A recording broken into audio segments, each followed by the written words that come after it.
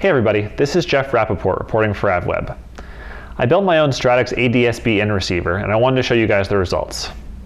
If you're new to the concept, an ADSB in receiver will let you pick up METARs, TAFs, composite weather radar, NOTAMs, and TFRs for your area. Pretty useful. And it share, will share that with your favorite electronic flight bag, whether that's ForeFlight, Garmin Pilot, or one of the more esoteric options. You can build a Stratux ADSB for around $150 in parts compared to around $600 for the comparable commercial product. Now fully half of you at home are screaming, this guy is an idiot. Doesn't he know you can pick up traffic data? Traffic is the whole reason for ADSB. What about the traffic data? Yes, I understand you will get traffic data, but here's the deal. The weather data gets broadcast indiscriminately from ground stations. So anytime you're within, you're within range of a ground station, which is basically everywhere in the continental US, you'll get weather data.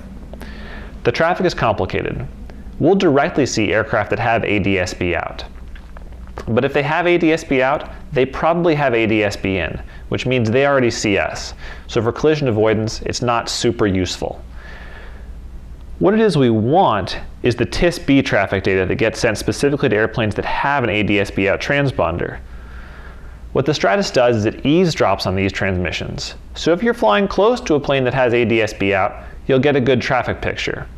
If you're not flying particularly close to a plane with ADSB out, you can expect a pretty spotty traffic picture.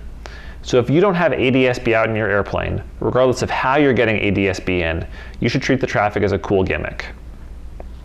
Okay, disclaimer aside, the full parts list is available on YouTube or on the AvWeb website, but basically here's what we're working with. We've got one Raspberry Pi 3, which is really just a tiny computer on a single circuit board. One SD card with the Stratux software preloaded. Two ADSB radios, helpfully labeled 1090 and 978. Two high gain antennas. One external case find the case itself to be a tiny bit chintzy, but it did come with a fan and two tiny heat sinks. One USB battery pack, one external GPS antenna. Those are all your pieces. Putting it together is really just a matter of plugging the parts in. Getting the nuts on the mounting post requires some amount of fiddling, but you'll figure it out. Make sure you put the right antenna on the right radio, other than that you can't go wrong. I took it on a long trip this weekend, and I did enjoy having winds aloft data over the ridges and AWOS data before we were close enough to pick it up on the radio.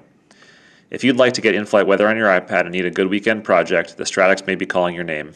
This is Jeff Rappaport reporting for AvWeb.